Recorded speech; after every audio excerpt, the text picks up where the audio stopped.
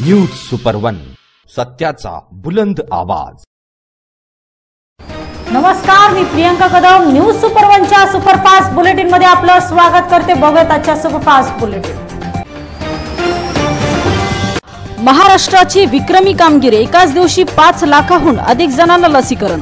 देशातील एकूण रुग्णसंख्या एक कोटी शहात्तर लाख छत्तीस हजार तीनशे सात इतकी झाली आहे दरम्यान देशात गेल्या चोवीस तासात दोन लाख एकावन्न हजार आठशे सत्तावीस रुग्ण उपचारानंतर बरे झाले असून आतापर्यंत एक कोटी पंचेचाळीस लाख छप्पन हजार दोनशे नऊ जणांनी कोरोनावर मात केली आहे. देशात सध्या अठ्ठावीस लाख ब्याऐंशी हजार दोनशे चार रुग्ण ऍक्टिव्ह आहेत तर चौदा कोटी बावन्न लाख एकाहत्तर हजार एकशे शहाऐंशी जणांचं लसीकरण झालंय.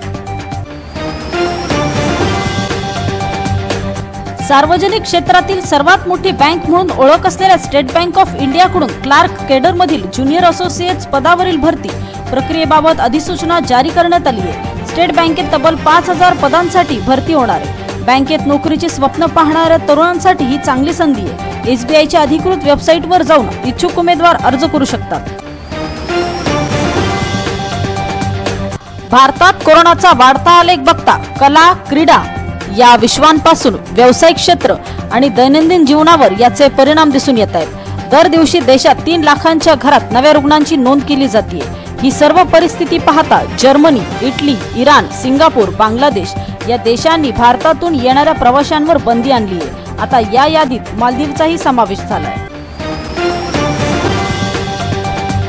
आंतरराष्ट्रीय पातळीवर भारताचं चित्र ज्या पद्धतीने निर्माण केलं जाते त्यावरून हे फार मोठं षडयंत्र असू शकतं असा दावा शिवसेना नेते संजय राऊत यांनी केलाय. आंतरराष्ट्रीय स्तरावर भारताचा अपमान होत असेल तर सर्वांनी मतभेद विसरून आपण पंतप्रधान नरेंद्र मोदी यांच्या पाठी उभं राहिलं पाहिजे असं राऊत म्हणाले. अहमदनगर मतदारसंघाचे खासदार डॉक्टर सुजय विखे पाटील यांनी हवाई मार्गे आणलेल्या रेमडेसिवीर साठ्याबाबत उच्च न्यायालयाच्या औरंगाबाद खंडपीठात फौजदारी याचिका दाखल झाली आहे. याचिकेवर पुढील सुनावणी एकोणतीस एप्रिल रोजी होणार असून तोपर्यंत साठा वाटपाबाबत नियमाप्रमाणे कार्यवाही करावी असे निर्देश न्यायालयाने जिल्हा प्रशासनाला दिल्याचे याचिकाकर्त्यांच्या वकिलांनी सांगितले.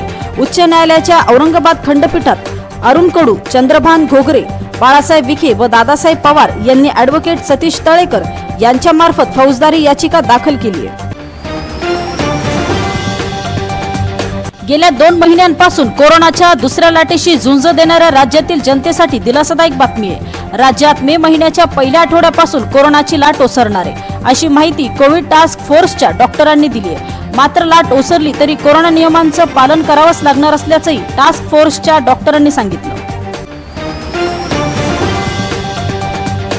कोरोना आणि टाळेबंदीमुळे मुंबई ते अहमदाबाद बुलेट ट्रेन प्रकल्पाच्या कामांना राज्यातही खीळ बसली आहे तसेच ठाणे पालघर मधील भूसंपादन प्रक्रिया थांबलेली आहे तर वांद्रे कुर्ला संकुलात स्थानक उभारणीसाठी मे महिन्यात काढली जाणारी निविदा पुन्हा लांबणीवर पडली आहे बुलेट ट्रेनसाठी महाराष्ट्रात आधीच भूसंपादनाची प्रक्रिया धीम्या गतीने सुरू असून पालघरमध्ये साधारण तेरा टक्के आणि ठाणे जिल्ह्यात चौवेचाळीस टक्के असे सरासरी राज्यात चोवीस टक्क्यांपर्यंतच भूसंपादन झाले.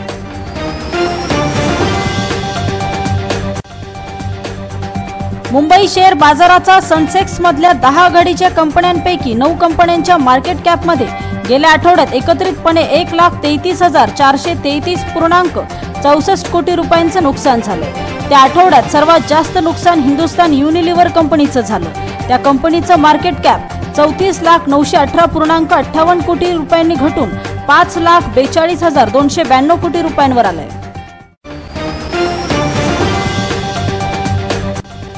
एक मे पासून अठरा वर्षावरील लोकांना सुरू होणाऱ्या लसीकरणाच्या मोहिमेवर मोठं प्रश्नचिन्ह. राज्याला लोकसंख्येच्या प्रमाणात लस उपलब्ध झाल्या नसल्याची माहिती देशात उपलब्ध असलेल्या तिन्ही लसी मे महिन्यात राज्याला मिळू शकणार नाही अशी खात्रीदायक माहिती सूत्रांकडून देण्यात आली.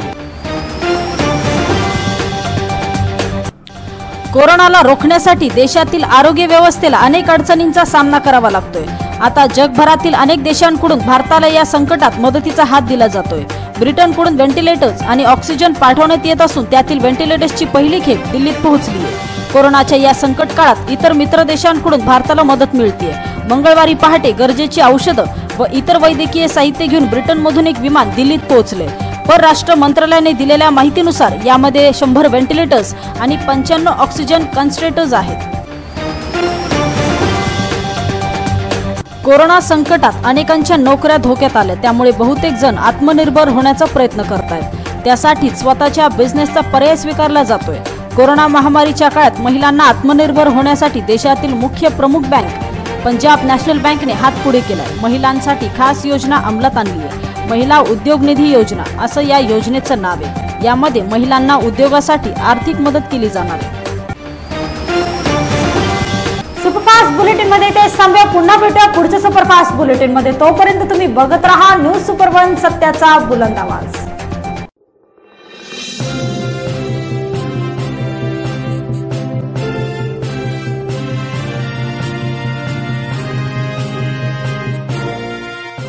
न्यूज सुपर वन सत्याचा बुलंद आवाज.